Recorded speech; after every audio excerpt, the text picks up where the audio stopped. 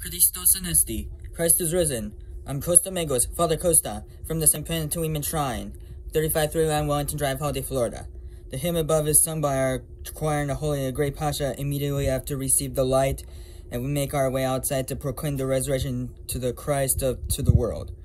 This ancient custom of singing praises to God in the darkness while holding it our lighting our candles reminds me all watching that Christ has once for all conquered the darkness of evil. The angels know this, we, and we came to know it too, as we embrace the glow of his love and for us. The victor victorious event of the holy and the great Pascha, death has been overthrown for all time. And we are made worthy to by God and join our voices and with those and angels to sing with those praises.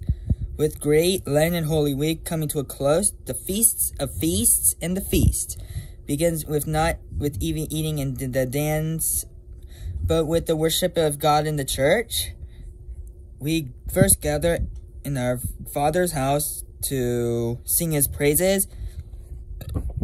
His praises and express our unity with the Trinity and each other with the divine liturgy when we receive the Holy Communion.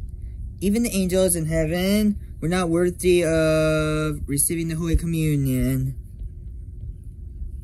even though they sing his praises continually in heaven. We have been made worthy by God by using his unending love for this. The This is the meaning of the Feast of Pascha.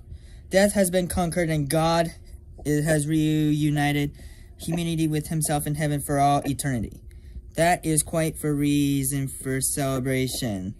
I pray you will join this year in glorious cathedral to celebrate this gift from God. This year I invite you to delay that eating and dancing along to celebrate the entire divine liturgy together in the cathedral.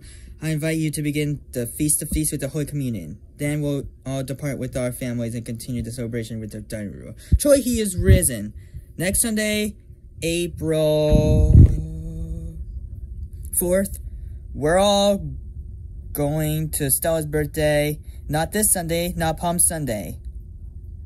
April 11th, we're having Palm Sunday. My service, the Chapel St. Panteleimon, and Father Costa, Father, Son, Holy Spirit. Amen.